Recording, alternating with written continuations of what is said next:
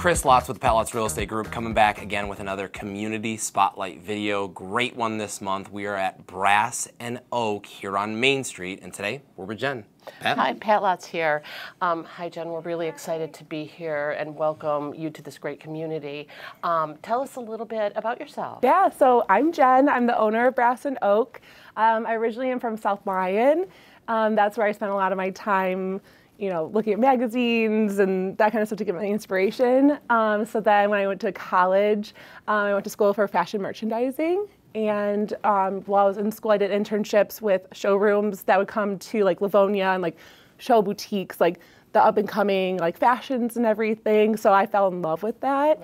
So when I moved to Chicago with my then boyfriend, now husband, um, I started working for a showroom in the merchandise mart, which was like a dream of mine, like when I was in school and stuff. And from that, I left like the showrooms and the merchandise mart to work for a designer that like designed and manufactured everything in Chicago. And that was where I learned everything. That's exciting. Yeah.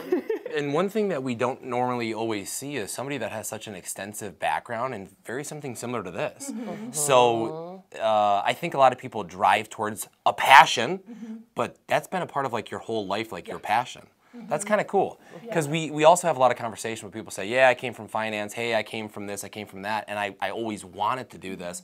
What a cool thing. You went to college for it. Mm -hmm. You went to Chicago for it, mm -hmm. and you came back to still do it. Yeah. That's pretty amazing. Yeah. okay, so tell us from Chicago and all that to where?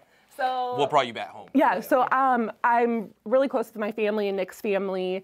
Um, my parents are best friends with his parents, so we're very close knit. So when it was time to like when I started wanting to have kids, I was like, Nick, one, I want to travel, and then I need to be close to family to be able yeah.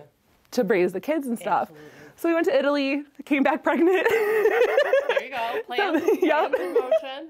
Um, but during that time, I was in this like limbo land because we had left Chicago. Mm-hmm. And I was like, what next? Like, what am I gonna do, like, career wise? Because I went from working for this designer in Chicago to starting I know my own showroom, like working with independent designers that were all Chicago based, hoping to like get them into like more boutiques like throughout the country and stuff like that. Mm-hmm.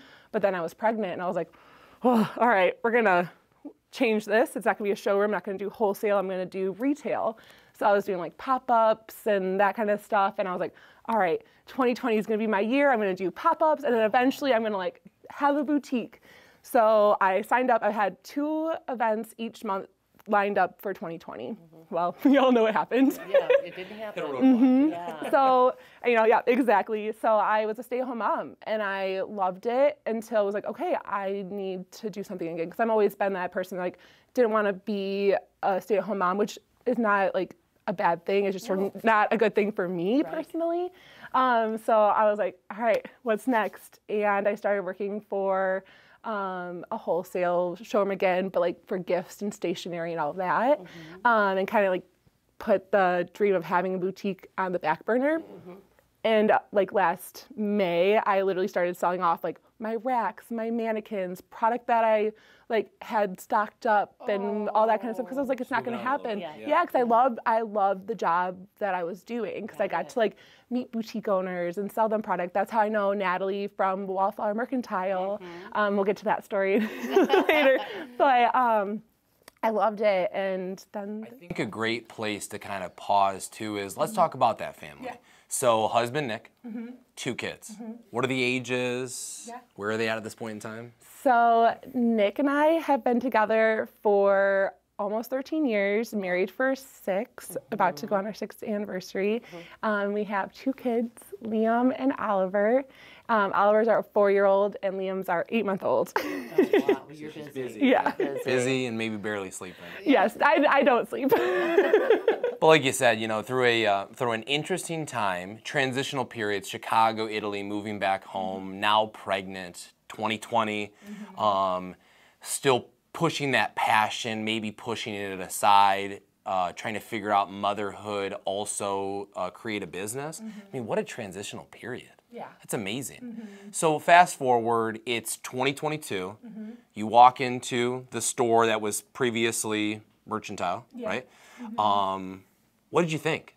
This is where I need to be. like I literally walked into Natalie's store originally and I was like, oh my gosh, her store is amazing. I was like, mm-hmm. one day, five years down the road, 10 years down the road, whenever she moves out, like, I'm, I'm gonna be like, hey girl, like, I need your space. It's my dream space. Let me know when you're moving out. Well, we were driving downtown, about to like go like celebrate our five year anniversary, and I see a sign like where her space is now coming soon. I was like, hold this, hold on, what? So yeah, I was like, stop. I immediately texted her. I was like, uh, what's happening? Like, um, is your space still available? I, I would love to open a store there. She, you know, said, hey, I think somebody like already has it, but I'll give you Mike's information. I was like, okay, cool. So all weekend, you know, heading like on our anniversary, Nick and I are daydreaming and, you know, be like, okay, we can make this happen. And I'm like, I don't know if you know how much work this is. And at this time, I'm seven months pregnant. So I'm like about to have a baby like any day. yeah. yeah. He's like, his words that I will never forget is, we'll make it work. Good. Yeah. That's We- that's support. We had a Yeah. similar conversation with uh, uh, Sunny's in the corner, Mm-hmm. and uh, husband, financial advisor, same thing. Do it. Yeah. This is the time. We gotta do it. Yeah. Um, and if you don't have that support system within a small business, you know, what do you have? You don't have anything. Mm-hmm. No. So great to hear. I mean, obviously, you know, your family has to be supportive, moving back, helping with the family, and also creating this great space. Yeah. How did you know Natalie though? So I knew her from my wholesale job that I had previous to this. Like, so I was selling her product. So I instantly, that's how I had her information and like was able to have that little connection um, to jump on it quickly. This So when you called Mike, what what happened? Was it Well, this was a busy space, a and I know I know people were lining up the door to try to get this space. So, do you know how many people were inquiring about the Um, space? I think at the time, I think there was like four people, if not more. yeah, that's still. I mean, that's still competitive. You know. Yeah, I think there might have been even six. Like it was just kind of a round robin, and there was somebody. Um, so there was somebody, but then um, she decided to find a spot in Howell, um, and I was like, he was like, all right, there's still people like that are in line, and I was just like, I when I was on my anniversary trip, I had put together a business plan and like a little like um, collage of like what I'd want this space to look like. So I presented. I came that Thursday after I got back to Mike, and I was like, here's my presentation, and he was like. No one did that. He's like, you have a presentation. I'm like, yes, this is my dream space. Yeah. I was like, don't look at the baby bump. Don't let this Yeah, like deter yeah. you. No. Oh, you you know it's sort of cool. You had the whole weekend to sort of dream about it and, and talk with your husband to put the plan together, which was in your brain anyway. oh, I know, I know it's in your brain. This, Yeah. yeah, this came together very quickly. So Mike said yes. he said yes. hmm yeah. Mike's a businessman, but he's also has um, you know very artistic background. Mm-hmm. So I wonder if that resonated with him as well in kind of your presentation, your passion, and he probably has a lot of great passion as well within Mm-hmm. his hobbies and his art art itself. Um, so I wonder if that was just this is the one. Mm-hmm. Yeah. Yeah, we, I think we just like connected, and then he met my husband, and we kind of we've become friends like since, Very nice and people, mhm, very very supportive, and yeah, I. I don't even have words because I'm so blessed to have him as a landlord. See, that was just meant to be. It just all fell into place. How long has it been? Yeah. um, so we just celebrated our six month anniversary with a ribbon cutting. So yeah, mm-hmm. that was my next question. Yeah. So tell us a little bit more. How's things going? I know. So it's been good. Everybody keeps on coming in like, I'm so sorry that you're opening during like all this construction, and I'm like, I don't know any different. Like, there's been so much support, not only with my own family, but through the community. Like everybody's been so welcoming. That was my dream. Like my whole life, I was like, I want to be a part of a community, and I want to be supported, but also support other businesses. And this downtown has been more than a dream like, because it's actually happening. Mm-hmm.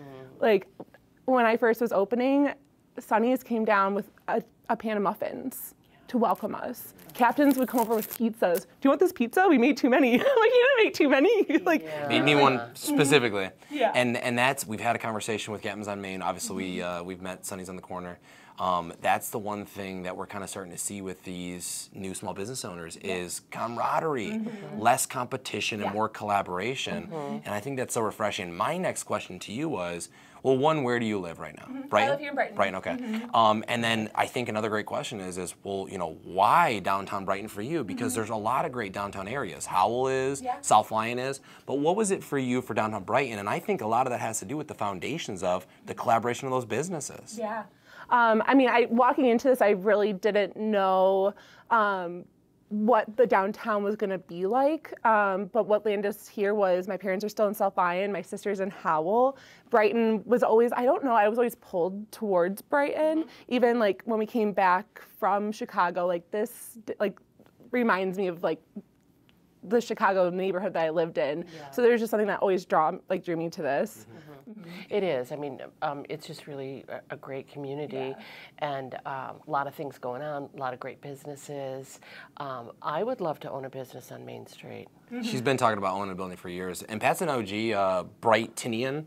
Um, she lived on Dillon Street, just outside of downtown. I am. so I am. So I she, get around. she always to talk about transformation. what. You yeah, know it changed a lot. Oh yeah. what's yeah. what's your line? We used to ride bikes to the DNC. to the DNC Yeah. down a- where pop. Saigonos used to be, Yeah. which is now Natalie's place and Todd's. Yeah. So yeah, we'd come down. There's a big candy center that's probably as big as this room, and it was so good.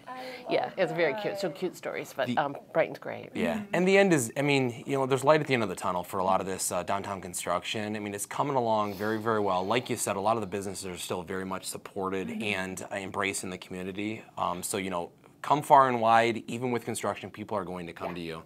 If you have a great business, great product, um, then you will thrive. And obviously, that's a testament to all these other businesses that are continuing to do that.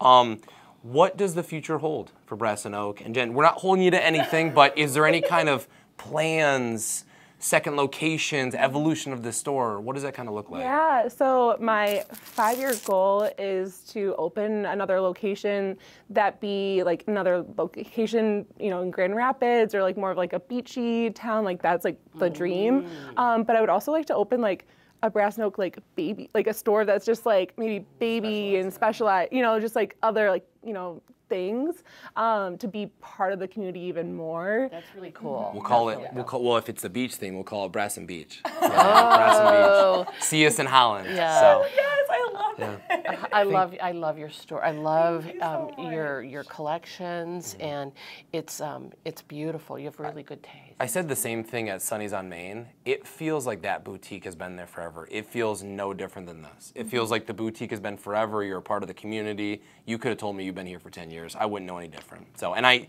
and I also do know the history of this. But when I hear other businesses talk about you and seeing the collaborative effort, again, you could all convince me that you have been here for 10 years. So I think a testament to the community, downtown Brighton. I love the new slogan, believe in Brighton. Yes. Let's continue to do that. oh, I like Um, that. Thanks for having us. Thank you yeah, so yeah. much. I Really appreciate appreciate, it. it. Yeah. Um, and this doesn't end here. You know, it's it's to all the businesses downtown. You know, collaboration has to continue to happen through 2023, 2024, on and on and on. Thanks again for tuning in to another community spotlight video. Thanks to Brass and Oak and Jen. Tune in next time. See you in the next one.